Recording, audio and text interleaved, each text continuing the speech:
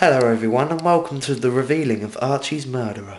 For professional reasons, I have to cover my face, for I cannot reveal who I am. Anyway, it's been the talk of British television lately. Who is the murderer of Archie?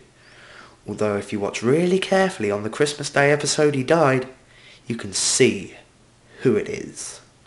Let's observe.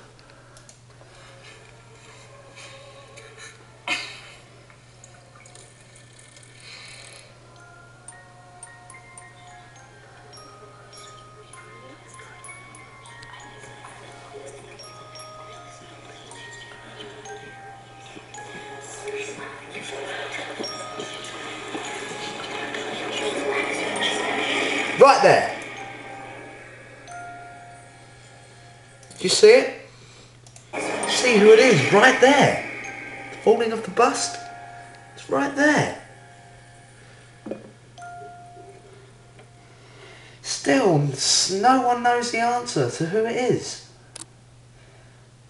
That answer will be revealed now. It is simply the force of gravity. Gravity murdered Archie. There you go. Archie's murderer revealed.